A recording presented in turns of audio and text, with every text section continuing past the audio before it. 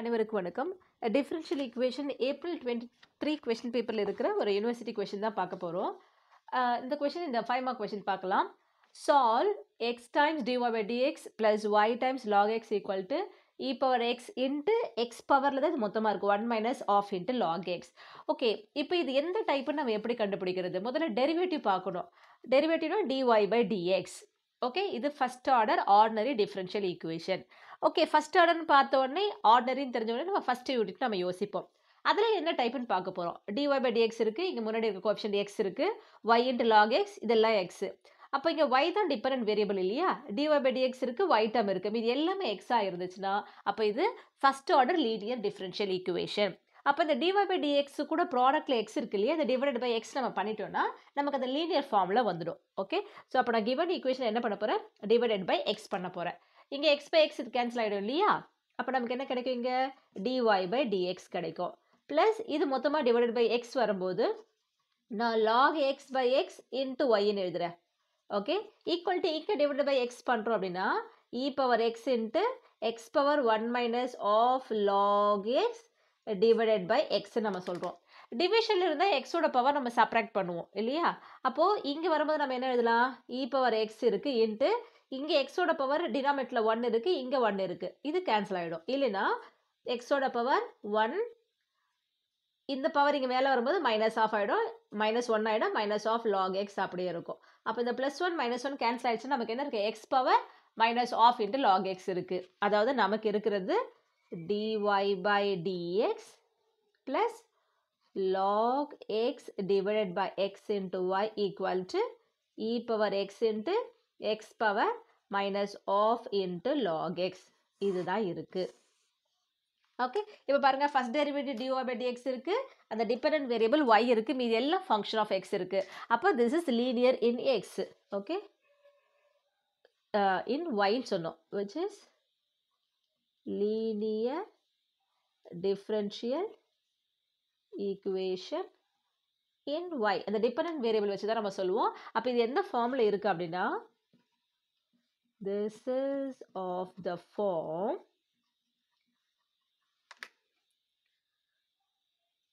dy by dx first order derivative plus p into y. அதாவது function of x into y என்ற அந்த dependent variable இருக்குது equal to q.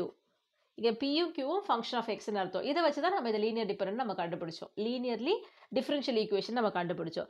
So இந்த ஃபார்மில் இருந்துச்சுன்னா இது இன்டகிரேட்டிங் ஃபேக்டருக்கு என்ன formula integrating factor equal to e power integral p இங்கே டிபெண்ட் இண்டிபெண்ட் வேரியபிள் வந்து எக்ஸ் அப்போ e power integral p dx okay so இப்போ நம்ம இங்கே எது பி எது கியூன்னு ஐடென்டிஃபை பண்ணலாமா? ஒய்யோட ப்ராடக்ட்டில் இருக்கிறது தான் பி ஸோ இங்கே பின்றது வந்து log x divided by x க்யூன்றது right hand சைடில் இருக்கிறது. க்யூன்றது என்னது அப்போ நமக்கு? இ பவர் எக்ஸ்ன்ட்டு எக்ஸோட power minus of into log x okay இப்போ இன்டகிரேட்டிங் ஃபேக்டர் நம்ம கண்டுபிடிக்கலாம். இ பவர் இன்டகிரல் பிக்கு பதிலாக நம்ம என்ன பண்ண போகிறோம் log x by x into dx இப்போ இந்த இடத்துல இதை இன்டகிரேட் பண்ணுறதுக்கு நம்ம என்ன ஃபார்முலா யூஸ் பண்ண போகிறோன்ற விஷயத்த நம்ம யோசிக்கணும். வெறுமனே இன்டகிரல் லாக் எக்ஸ் இருந்துச்சுன்னா நம்ம என்ன பண்ணுவோம்? இன்டகிரேஷன் பை பார்ட்ஸ் அப்ளை பண்ணுவோம். ஆனால் இந்த இடத்துல வரும்போது நம்ம என்ன பண்ணணும்னா இன்டகிரேஷனுக்கு ஃபார்முலா இருக்குது அந்த ஃபார்முலா யூஸ் பண்ண போகிறோம் நான் என்ன ஃபார்முலா நான் கொடுக்குறேன்? இப்போ இன்டகிரேஷனில் பார்த்தீங்கன்னா லாக் எக்ஸ் பை எக்ஸ்னு இருக்குது இப்போ நமக்கு லாக் எக்ஸுக்கு டிஃப்ரென்சியேஷன் நமக்கு என்னென்னு தெரியும்? ஒன் பை எக்ஸ்னு தெரியும். அப்போது நம்ம இங்கே யூஸ் பண்ண போகிற ஃபார்முலா ஓகே இன்டகிரலுக்குள்ளே ஒரு ஃபங்க்ஷன் இருக்குது அந்த ஃபங்க்ஷனோட பவர் என்ன வேணாலும் இருக்கலாம். இப்போ பவர் என்னன்னே வச்சுப்போமே. இந்த ஃபங்க்ஷனோட டெரிவேட்டிவ் வந்து ப்ராடக்டில் இருக்குது டிஎக்ஸ் இருக்குது இப்படி இருந்துச்சுன்னா இந்த இன்டகிரலுக்கு என்ன ஆன்சர் வரும்னா f the whole the whole power n plus one by n plus one plus the integration of integration நம்ம வழக்கமாக நம்ம போடுவோம். ஓகேவா ரைட்டு இப்போ பாருங்கள் இந்த இடத்துல e இ பவர் இருக்கு இல்லையா? So e power integral log x into one by x dx இப்போ லாக் எக்ஸோட டிஃபரன்சியேஷன் நமக்கு என்னன்னு தெரியும்? லாக் எக்ஸோட டிஃபரன்சியேஷன் வந்து ஒன் பை எக்ஸு அப்போ எஃப் ஆஃப் எக்ஸ் தான் லாக் எக்ஸு அதனோட differentiation one by x dx இருக்குது அப்போ இந்த இ பவரில் இந்த இன்டர்கலுக்கு என்ன வரும்? Integral f of x power n plus one அப்போ எஃப் ஆஃப் எக்ஸ் வந்து லாக் எக்ஸ் லாக் எக்ஸோட பவர் என் ப்ளஸ் ஒன்று இங்கே பவர் ஒன் இருக்குது அப்போ ஒன் ப்ளஸ் ஒன்று டூன்ட்டு வரும். அப்போது நமக்கு integration e power log of நமக்கு என்ன வரணும்னா log x the whole square by two இது எல்லாமே இ பவரில் தான் இருக்குது ரைட்டா? இப்போ நம்ம இந்த இ பவர் இந்த log x the whole square நம்ம என்ன எழுத போகிறோம் log x into log x by two product தானே. E இ பவரில் இது ரெண்டும் ப்ராடக்டில் இருக்குது ஓகே இப்போ அடுத்தது என்ன பண்ண போகிறோம்னா ஏன்னா e, e இ இ பவரில் லாக் இருந்தால் நம்ம கேன்சல் பண்ணலாம். ஆனால் லாக் த ஹோல் ஸ்கொயர் இருந்தால் பண்ண முடியாது. அதுக்காக தான் நம்ம ப்ராடக்ட்டில் எழுதுகிறோம் இப்போ இது என்னவா எழுத போகிறோம்னா இ பவர் லாக் எக்ஸ் அதனோட whole power log x by two ஏன் அப்படின்னா இந்த இடத்துல என்ன ரூல் அப்படின்னா எக்ஸ்பொனென்ஷியல் ரூல் தான். இப்போது a power m the whole power n இருக்குன்னா a power m into n இல்லை இதை மாற்றி சொல்கிறது வந்து a power n the whole power எம்னா கூட நம்ம எழுதலாம். ஓகே ஸோ இங்கே ப்ராடக்டாக இருக்குல்ல log x into log x by டூவை ஒன்று பவர் வச்சுட்டு இந்த மொத் இன்னொன்று த ஹோல் பவராக இந்த மாதிரி மாற்றி எழுதியிருக்கோம். ஓகே நமக்கு எது வேணுமோ அதுக்கேற்ற மாதிரி மாற்றி எழுதிக்கலாம்.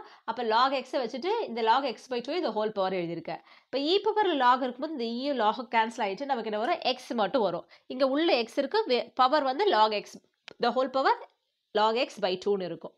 ஸோ எக்ஸ் பவரில் லாக் எக்ஸ் பை டூ அப்போ இதுதான் நமக்கு என்னது? Integrating factor okay? Integrating factor கண்டுபிடிச்சிட்டோம்.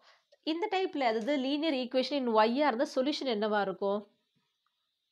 த சொல்யூஷன் இஸ் ஒய் தான் நமக்கு depend variable so y into integrating factor வரணும்.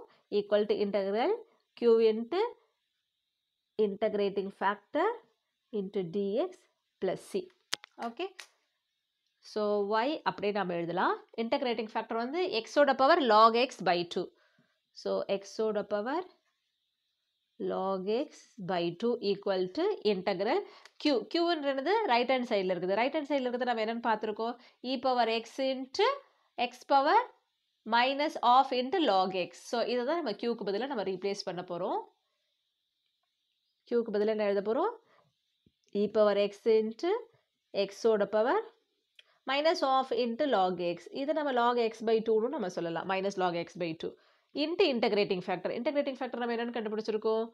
X power log x divided by two dx plus c இப்போ இது என்னது? X power minus log by two இது x power log x by two log x by two ரெண்டுமே சேமாக இருக்கு இல்லையா? அப்போ பவர் ஆட் பண்ணும்போது ஜீரோ ஆகிடும் எக்ஸ் பவர் ஜீரோனா ஒன் ஆகிடும் இல்லை இது ரெண்டுமே இன்வெஸ்ட் டு ஈச் அதர் கேன்சல் ஆகிடும் ஓகே அப்போ நமக்கு இந்த இடத்துல என்ன கிடச்சிருக்கோ லெஃப்ட் ஹேண்ட் சைடில் இருக்கிறது ஒய் இன்ட்டு எக்ஸ் பவர் எக்ஸோட power log x by two equal to integral e power x இது ரெண்டும் கேன்சல் ஆகிட்டு ஒன்றுன்னு வந்துடும் டிஎக்ஸ் ப்ளஸ் சி இப்போ இ பவர் எக்ஸோட இன்டகிரேஷன் இ பவர் எக்ஸ் தான்.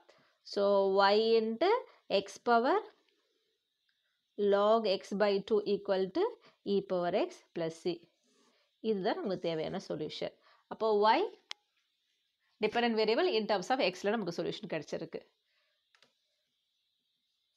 Which is the solution again இது ஃபஸ்ட்டோட டிஃபரன்ஷியல் ஈக்குவேஷன்றதால ஆர்டர் ஒன்றுறதால ஒரே ஒரு ஆர்பிட்ரரி கான்ஸ்டன்ட் இருக்குது ஓகே இது ஒரு பார்ட் பி ஈக்குவேஷன் இப்போ இதை புரிஞ்சிருக்கும்னு நினைக்கிறேன். ஸோ இப்போ நம்ம லீனியர்னு எப்படி கண்டுபிடிப்போம்? அந்த ஃபஸ்ட்டோட டெரிவேட்டிவ் அப்புறம் ஒய் டேர்ம் இருக்கணும். மீதி எல்லாம் இன் டேர்ம்ஸ் ஆஃப் எக்ஸில் இருக்கணும். இருந்துச்சுன்னா நம்ம அதை அந்த லீனியர் டிஃபரன்ஷியல் ஈக்குவேஷன் ஃபார்முக்கு கொண்டு வந்துட்டு இன்டகிரேட்டிங் ஃபேக்டர் கண்டுபிடிக்கிறோம். இன்டகிரேட் பண்ணுறதுக்கான பேசிக் டெக்னிக் எல்லாமே நமக்கு தெரிஞ்சிருக்கணும். தெரிஞ்சாதான் இதை நம்ம பண்ண முடியும். அதுக்கப்புறம் சொல்யூஷன் எழுதிட்டு சிம்பிளிஃபை பண்ணிடுறோம். அவ்வளோதான் அடுத்த காணொலியில் பார்க்கலாம். நன்றி வணக்கம்.